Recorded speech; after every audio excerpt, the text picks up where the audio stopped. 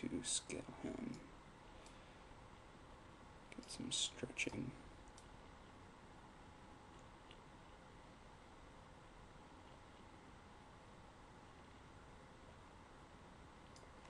Let's rotate another 180 degrees. So we get back to where we were before. Get a nice little loop going. He's up.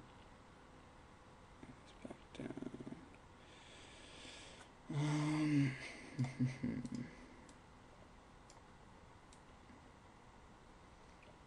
needs to hang up there a little more. I'm Just gonna copy over that frame.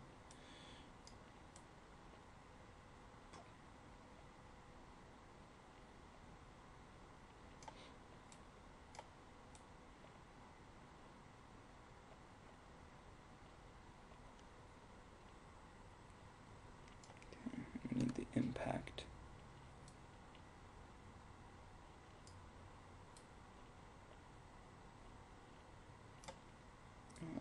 Squash. Mm.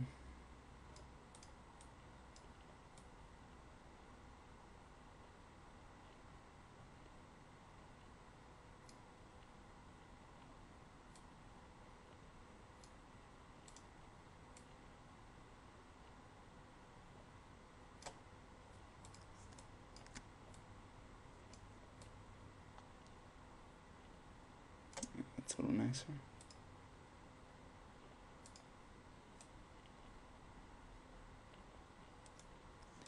Kind of intense on the down. Let's see if we can make that a little natural. Yeah, it's a little much. Um, I think it could be that I'm trying to do too intense here. Let's pull that back a little bit.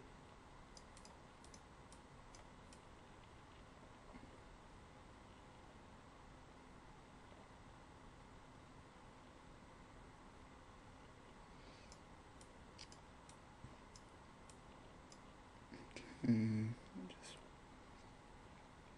pop another keyframe in there. Have this one be a little higher.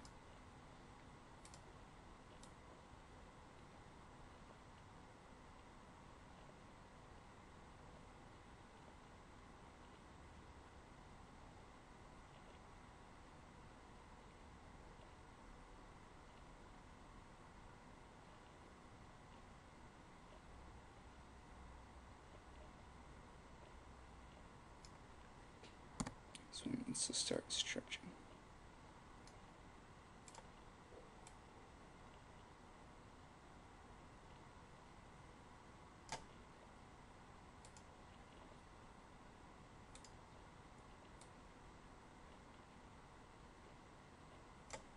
Just grab this first frame, bring it over here.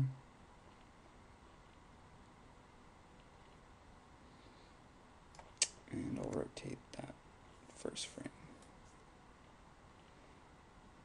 360 degrees because it wants to rotate for some reason.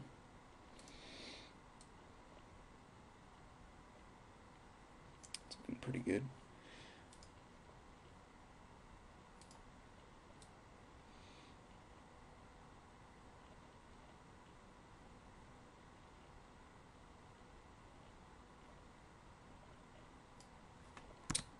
Kind of stalls up there. I'll just make it go up a little bit.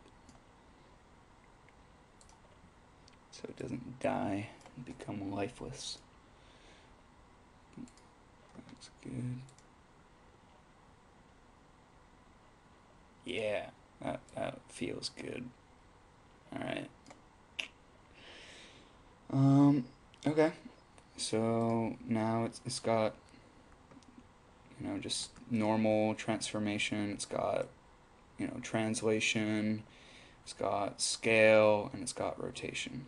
Rotation, translation, and scale. Um, all right. So now let's just export this bad boy. So go up to File, and then Export, and just find my folder and you want this one collada.dae all caps. And I'll just call this box.dae uh, yes we want bake matrices relative paths all these things. Um, oh and it ends at uh, looks like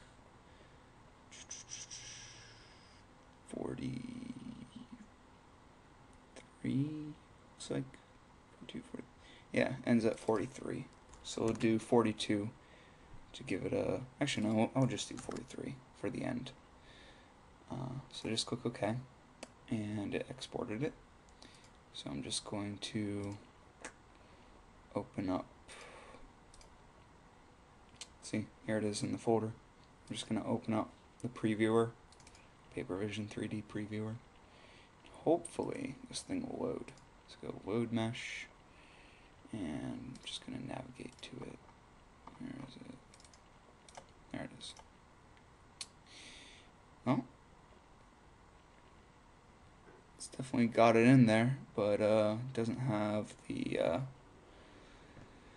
the texture on it. Um hold on one second guys. Alright, so unfortunately, I don't know what's up with that file. Um, and also, unfortunately, 3ds Max crashed um, after I paused the video, uh, so I couldn't re-export it. But, if I load up the old mesh, um, you can see that it is animating and doing the animation that we want. There's just some some uh, texture path issue. For some reason it's not showing up. But it's animating.